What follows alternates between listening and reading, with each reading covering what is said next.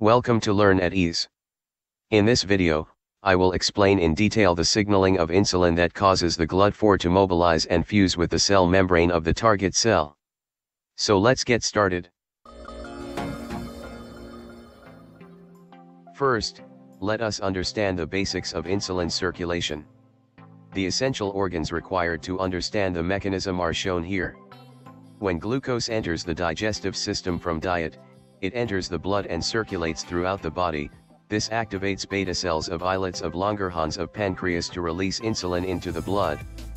Insulin will travel in the blood and bind to its receptor on the target cell, which is muscle cell or it can be adipocyte. Insulin will then pass the signal to the vesicle containing glucose transporter, that is GLUT4, to mobilize and fuse with the cell membrane. Now, this GLUT4 will allow glucose from blood to enter the cell. This video will explain this mechanism in detail.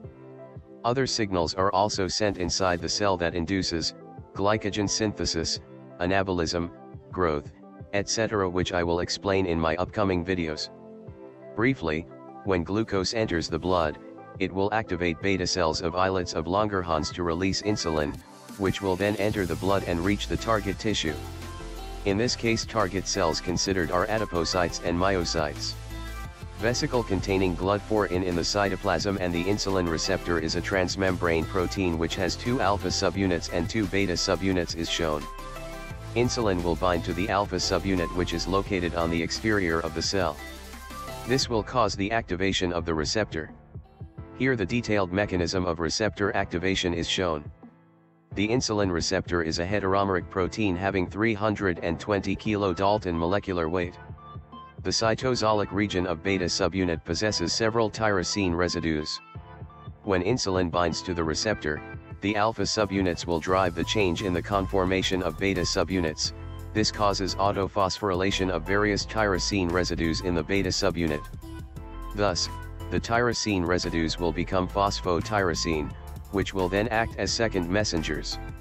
Due to these phenomena, insulin receptor is also categorized as autophosphorylating tyrosine kinase receptor. Let's get back to the original animation. So formed tyrosine phosphate will drive the phosphorylation of insulin receptor substrate 1. Once the IRS1 is activated in this way, an enzyme, phosphatidylinositol 3 kinase will bind to it and get activated. Let us see this mechanism in detail, IRS1 and PI3K is shown here.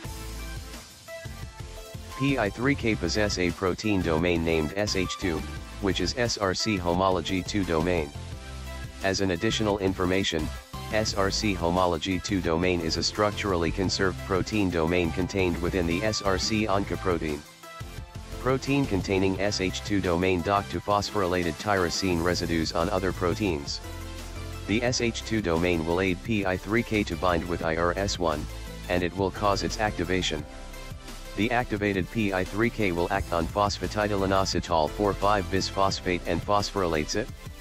This will cause its conversion to phosphatidylinositol 3,4,5-trisphosphate, abbreviated as PIP3. Another enzyme, 3-phosphoinositide-dependent protein kinase 1 abbreviated as PDK1 will bind to PIP3 and gets activated. Activated PDK1 will recruit protein kinase B and phosphorylates it. This is the wonderful mechanism carried by PDK1 and let us see this mechanism in detail.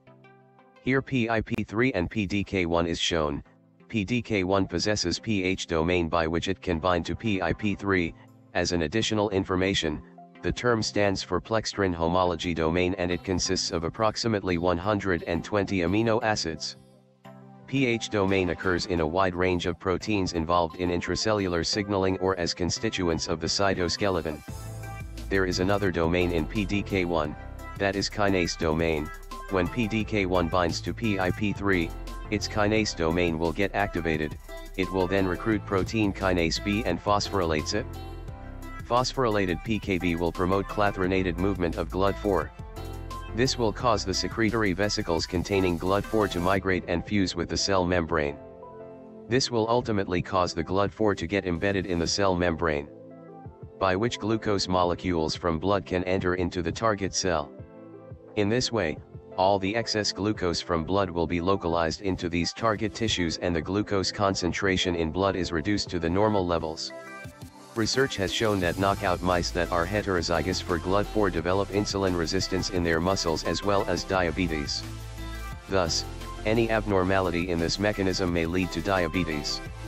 Hope you enjoyed learning this mechanism. In my next videos I will explain insulin signaling that modulates processes like glycogenesis and growth. To know more about this wonderful mechanism, stay tuned to my channel. Hope you enjoyed my video and feel free to share, like and comment. Subscribe to LAE. See you soon.